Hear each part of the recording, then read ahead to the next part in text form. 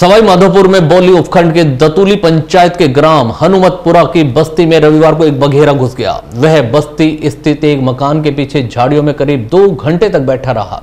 मौके पर ग्रामीणों की भीड़ जमा हो गई। सूचना मिलने पर वन कर्मी, बोली थाना पुलिस और वन विभाग की टीमें मौके पर पहुँची। उन्होंने मौके से भीड़ को हटाया। बाद में रणथंबोर बाग परियोजना की रेस्क्यू टीम भी पहुँची।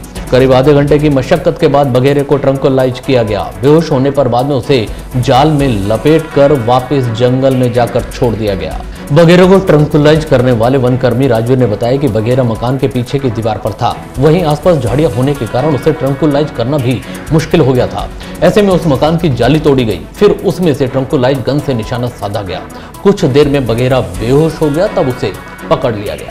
हुई हमने प्रशासन को सूचना की तो प्रशासन आने में करीबन थोड़ा टाइम लगाया भाई, प्रशासन आ गया। प्रशासन आने के बाद इन्होंने इंजेक्शन लगा के पकड़ लिया। ग्रामीणों के सहयोग से। ग्रामीणों ने चारों तरफ़ इसका कोई अल्लाह गुल्ला किया नहीं और हम इसको गिरफ़्तार किया।